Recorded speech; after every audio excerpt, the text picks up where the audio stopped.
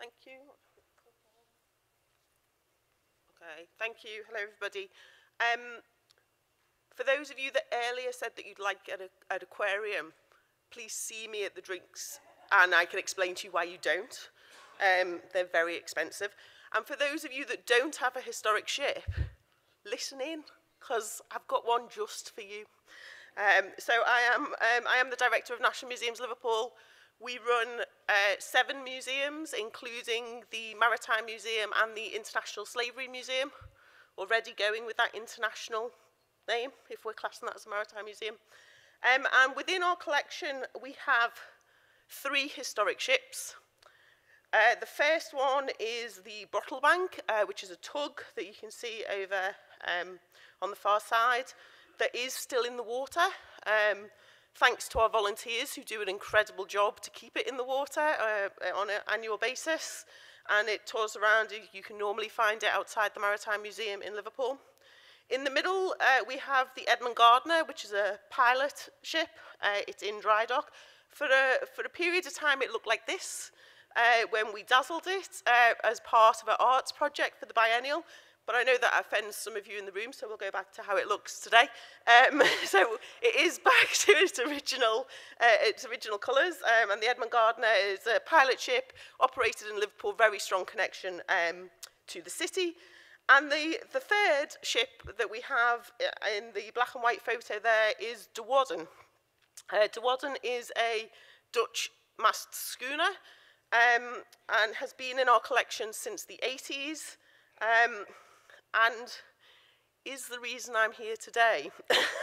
so um, here at National, at National Museums Liverpool, we are in the middle of a major um, regeneration project. So I love this photo of Liverpool's waterfront. You can see um, all of our museum sites down on the waterfront as well as Royal Albert Dock and the Three Graces, the Liver Birds and others. But what, what we're planning to do in Liverpool is to completely redevelop the International Slavery Museum and the Maritime Museum that are both within, currently within the same building. And our plan is to give the International Slavery Museum its own front door and to link it across and to provide better space um, for both museums to operate separately but also to tell those combined stories together. We also want to use the outdoor space of the museum. We're a museum based on our waterfront. Liverpool is a city built on transatlantic slavery, and that history is all around us, and we want to use that outdoor space as well as the indoor space to tell the story of Liverpool as a city. And it's a project that's been in development for quite a long time. And we've been talking about it for quite a long time, but we're now at the point where we've appointed designers and architects and we've done some fundraising, we've got some money in the bank, and we're moving forward with this project. So it's a, it's a 70, 75 million pound project. I feel like it goes up every time I look at my team, um, but I'm hoping that it's not going much beyond 75 million.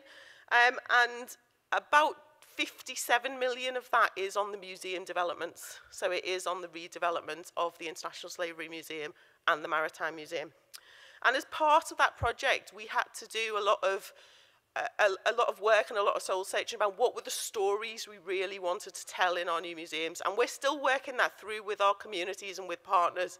But a big part of that became the story about the ships and what are we going to do with the ships.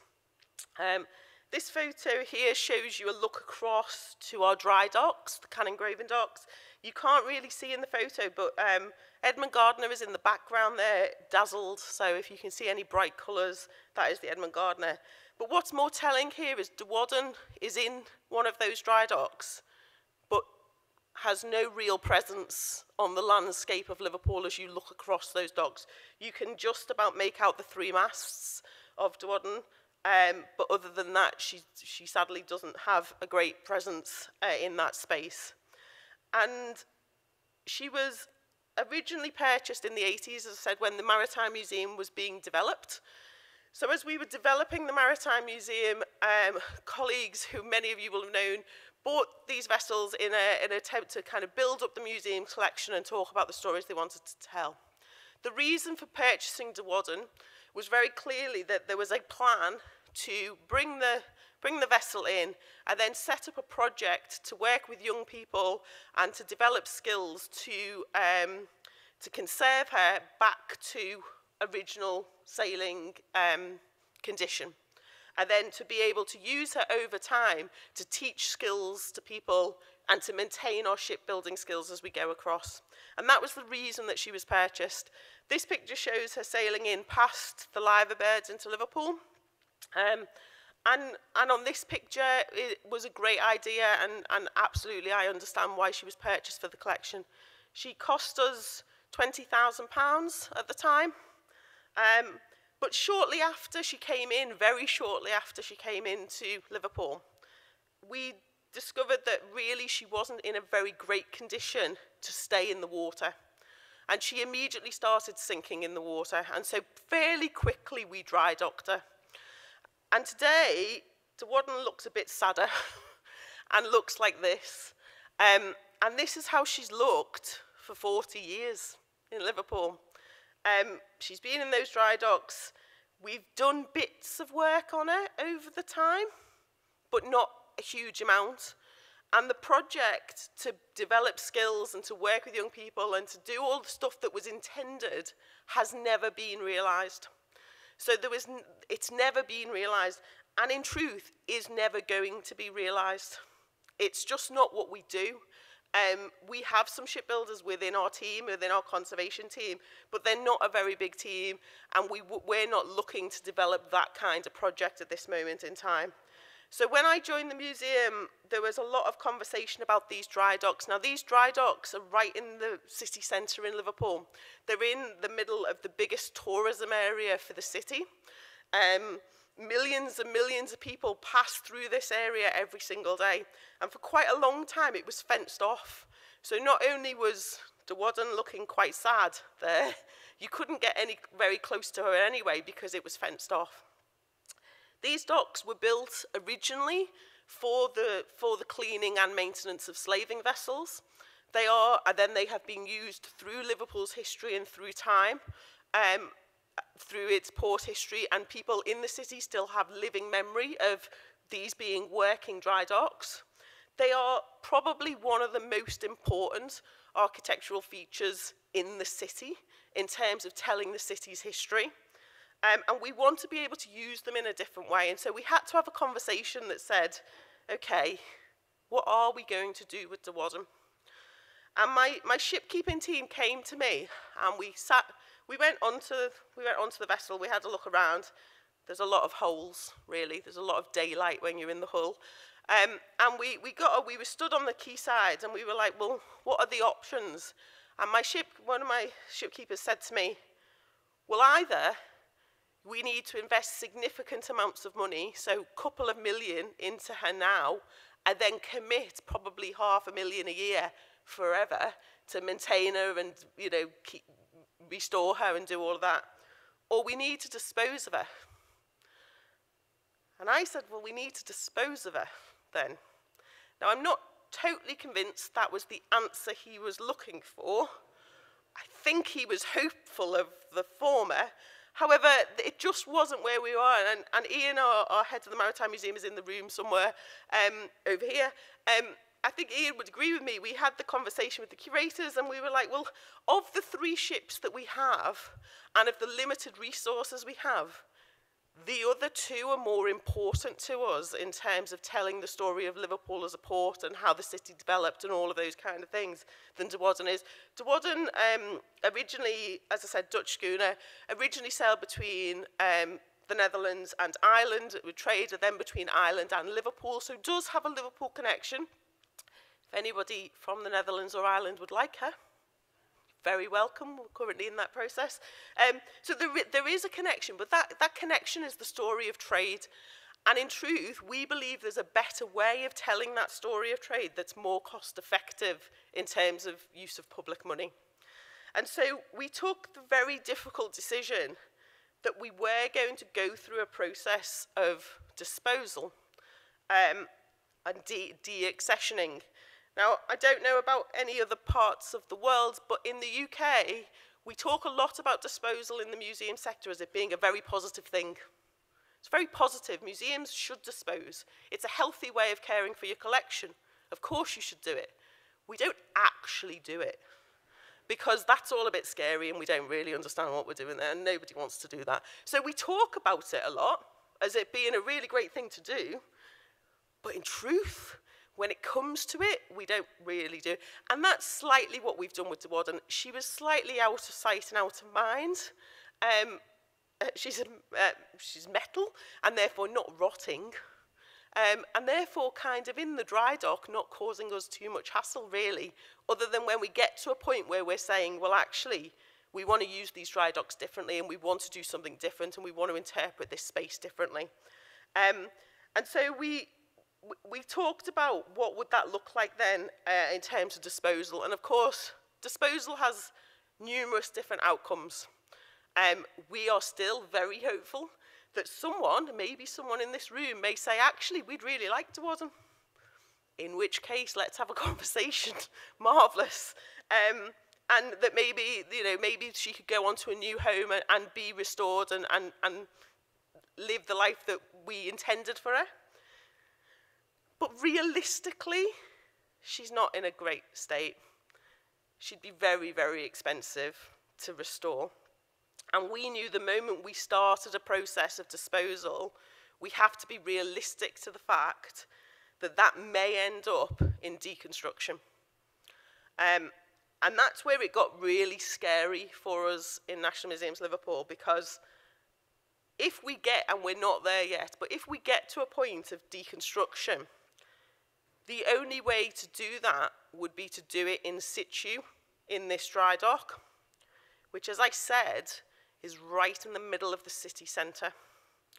And the public have a very uh, strong view about museums and they believe that when, they, when we have objects, we have them for life. And so the thought of us soaring up one of our biggest objects in the city centre over probably a three to six month period absolutely terrifies my comms team, who um, originally said to me, if we get to that point, can we put a tent over her? And I said, so it looks like a murder scene? And they said, oh yeah, okay, let's not do that. So we know that that's maybe where we will end up. Um, but actually, what I really wanted to talk about was how positive us taking that decision has been. Um, and how positive it's been for the stories we tell and our connections, and actually for how we how we preserve the story of De Wadden. So we went public with um, de-accessioning and we, we tweeted it out and the Museums Association in the UK tweeted it and our local paper ran this very helpful story um, that was fairly sensationalist. Um, but they ran that story as well, which we kind of expected. And we kind of sat and waited to see what was going to happen next. And in truth, sadly, for a long time, very little happened next. Um, there was a bit of noise on social media, but not negative. Um, there was various people just commenting on what De Wadden was um, and talking about her and the fact that we were looking at, at disposal. Um, so there was a bit of that for a bit. Um, and there was various other stories with people asking um, what, what was the plan, what was their history. Even, even the comments page in our local paper, which I generally never read because it's not normally a positive place to be, um, wasn't particularly negative about a museum getting rid of an object, which is what we expected. Um, what was more interesting was where we did get particular comments, it was generally from people within the sector saying things like this, where they were saying, well, this is quite interesting. I'll be interested to see what happens next. Um, and there was a lot of people kind of saying, well, how's this going to work and what will that look like? Of the emails we have had, and we're still open to emails and suggestions, and of the emails we've had, the vast majority of them have been from the museum sector and have been from other museums saying, we've got a ship that maybe we need to dispose of. Can we speak to you about how you've done the process? Um, we have had a couple of offers. I think I'm right in saying three offers, but only two still on the table. Yeah. So we've had three interested parties. Um, the first, at the point at which we shared the um, condition report, decided they weren't that interested anymore. Um, I'm imagining the other two will probably go the same way, in all honesty. But we have had some interest, but not realistic interest, if I'm honest. Um, but most of the interest has been from the sector saying, actually, this is a challenge. The other interest that we have had has been from our local maritime community, and this was the, the area that we were maybe most concerned about. What would be the reaction of our voluntary local maritime community?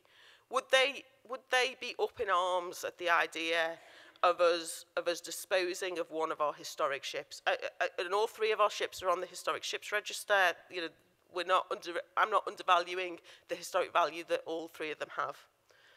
Um, and I received uh, one email from uh, a lady who uh, used to be the chair of our Maritime Museum Friends.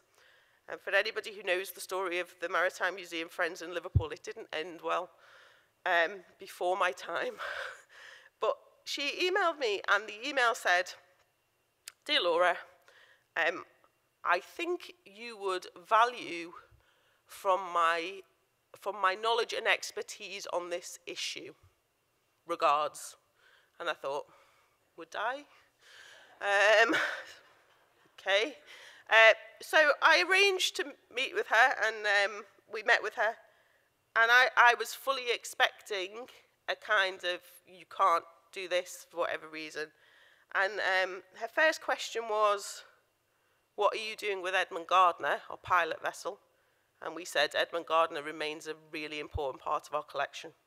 And actually, the point around disposing of Wadden is to ensure that we've got the resources to properly care for Edmund Gardner and to ensure that when Brocklebank, and, and to keep Brocklebank in the water for as long as possible to do that, but ensuring also that if it comes to a point when Brocklebank can no longer be in the water, we have a space within our dry dock for Brocklebank to remain in our collection. Those two vessels are part of our long-term future. We absolutely are committed to them. And she said, Great. You should never have bought De Wadden. And I said, Well, I understand why De Wadden was bought. I, I absolutely get it. But our times have changed, and it's no longer right for De Wadden to be in our collection. It doesn't help with the stories we're trying to tell anymore. So I think um, she was actually really positive and has since put us in touch with various other people. And what going public with our disposals done, and we're a long way off disposing of De Wadden. Um, I think we are due to issue notice to deconstruct in the next month or so, and then that's a two, three month process. You know, we're a long way off. If people are interested, we're still interested in that conversation. But, but by having the conversation and being brave enough to say this isn't the right way to sell our story in truth, and we need to care for these other vessels and resources finite and you know there's only so much money and our priority is the other two it's actually allowed us to rebuild relationships with the maritime community locally. It's allowed us to have very positive conversations with the sector in the UK and beyond. Um, and it's allowed us to explore actually what is really the story we want to tell and what are the better ways of showing it. We've had some really great conversations with um, our local university who are really keen to help us with some um, photographs and, and, and help with the deconstruction and how that would be and how we'd record that, which would be very positive. We, we've talked about what parts of the vessel might we keep in the collection, um, but it's allowed us to start a conversation about this space and our collection and the stories we really want to tell in our museum. And therefore, on the whole, as terrified as I was, and still am, if I'm honest, the idea of soaring up De Wadden in our dry dock still wakes me up in cold sweats of a night. But actually, I truly believe it's the right thing for us to do. Thank you.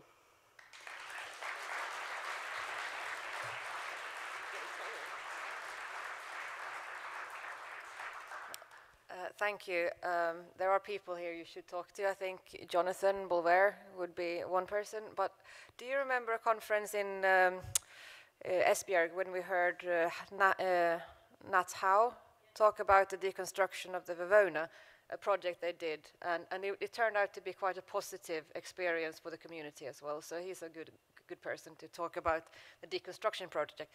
Thank you so much for your talk. I think it's really interesting to that the way you lift uh, issues to the table, challenges that we are facing, because ships are difficult, and and de, uh, deconstructing is is even more difficult, and, and even just getting rid of objects from your collection is challenging. So I'm sure there are lots of questions here, uh, and although it's time for coffee, I think that we should have some questions. We have one there, David, and then Vincent as well, at least. Yeah, hello there. Um, I appreciate your plight. Um, up until 1996, I worked at the Welsh Industrial and Maritime Museum in Cardiff. We had a steam tug there. We had Cardiff Bay Development Corporation treading on our necks, um, wanting us off the site. And um, this steam tug was, as you say, cut up in public and the South Wales Echo published a photograph every night. So you Thank do you. need to get your PR in place. Um, I'm telling you. yeah, we, we understand the challenge. We understand the challenge of the, the impact that has on public trust in museums. Um, uh, but I remain, I, I, would, I would reiterate my points. Good museums dispose. And that's the argument we'll try and win. Hi, Laura. Vincent from the New Zealand Maritime Museum. Um, just to start, I've never related to a talk more in my life. um, and I'm, we recently broke up a major floating steam crane as well, so I'd love to swap war stories. But I'm going to make this a question. Um, my big challenge was uh, I'm not sure what your museum's governance arrangements were, but our big challenge was with our board. Um, deconstruction costs a lot of money as well, mm-hmm. and they were sort of frozen within decision. They couldn't move forward to restore and they couldn't move back to deconstruct um, because both were a huge cost and they couldn't see past that. So I'm just wondering what your conversations have been with whatever your governance uh, team is, whether it's through the council or whether you have your own board, I'm not sure. No, it's board. Um, so we're nationally funded um, and we have a board and then we're an arm's length body of government as well. Um, the conversation with our board has actually been really positive. Members of our trustee board have been part of a working committee that we've had for the last six months now, working on all of the issues around Tawodden and how we get there. Um, the decision of the board, we presented a paper to the board back in uh, March or June, I can't remember which. Uh, the finances are quite stark on this one. Our options really are, um, if we are to keep her, we would have to move her into the other dock, so she would have to move into the into the second dry dock because our plans that we have funding for is to develop one of the dry docks for a different use. To move her and to maintain her to a point where she would be safe enough to move and it by no way in no way conserved, but but just safe enough to move and look half decent, for want of a better phrase, we reckon will cost us somewhere in the region of two and a half million. Um, to dispose, we think will cost us in the region of half a million. The maths on that was quite clear from our board's point of view. And then we obviously want to spend some more money on uh, telling the story in a different way and interpreting that within the museum. It was still more cost effective. It would still be more cost effective to dispose than it would be to keep her. And so the board have actually been quite supportive of it. The interesting bit will come because we're an arm's length body of government. Um, at the moment, our national, my national government colleagues are telling me that ministers have no concerns and it's all fine. It depends who our minister is at the point at which we start disposal. That could blow up within, you know, it could. Um, but, but the board are absolutely bought into where we are. Thank you. Okay, one, one final question we have here, I think. Laura, I, th I thoroughly enjoyed that. Um, I think it's so true. Um, certainly on, in, in the area where I am, and Hannah will understand it, we look at enviously over at uh, Hamburg and what's going on with Peking, where they've got all the money in the world. And then we look at the um, other Clyde-built um, bark that's still around in Honolulu, which is a big warning. Do you think there's any value in actually keeping um, your ship there as a warning to others and saying, if you don't fund us, that's what's going to happen. I think that's maybe what my predecessor was doing. I don't know. I don't know. I, I think it's more. I think we have to move forward more positively, and we want to be able to use what is a very important space in the city centre to tell the story that's really important. And Wadden isn't doing that currently, and so I think, I, I think kicking it into the long grass would have been the easy option, and that's what we've done for 40 years. I think now is probably the time for us to make a decision. Thank you. Thank you so much for a uh, really interesting and thought-provoking talk. Uh, and that's the end of this morning's session, and it's time for coffee. And then we will back here at half past 11, right? Yes. Okay, thank you.